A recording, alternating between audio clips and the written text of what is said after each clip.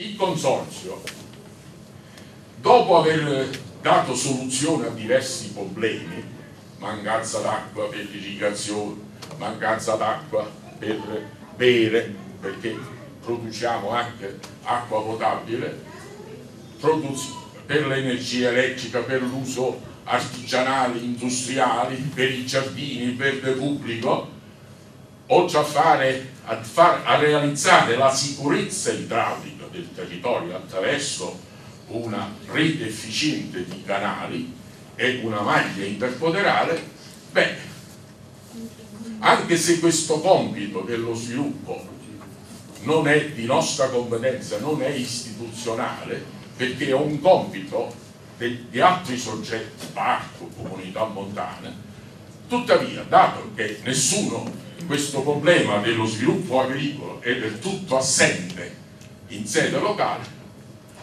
abbiamo messo in campo una serie di azioni e iniziative per cercare di creare le premesse per la creazione di questo distretto rurale. Poi è necessario anche un'integrazione dell'agricoltura con gli altri settori produttivi, in particolare con il turismo, ma soprattutto è necessario che le produzioni ecco, siano firmate, nel senso che deve essere data visibilità, riconoscibilità alla cilentanità. In che modo? Attraverso l'indicazione sull'etichetta del territorio di origine. In concreto, perché non posso, non posso sottrarre molto tempo agli interventi alla tavola rotonda, che è molto utile per i motivi che saprete. Insomma, l'agricoltura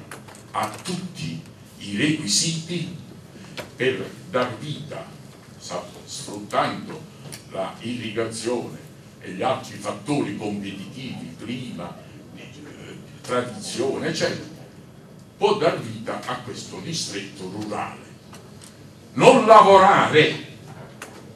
per realizzare questo distretto, che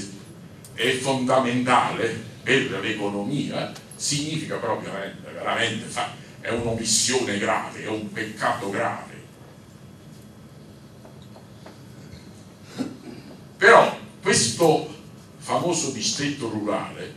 eh, non, non viene dal cielo e non è sufficiente l'impegno solo del consorzio, ma richiede la vostra collaborazione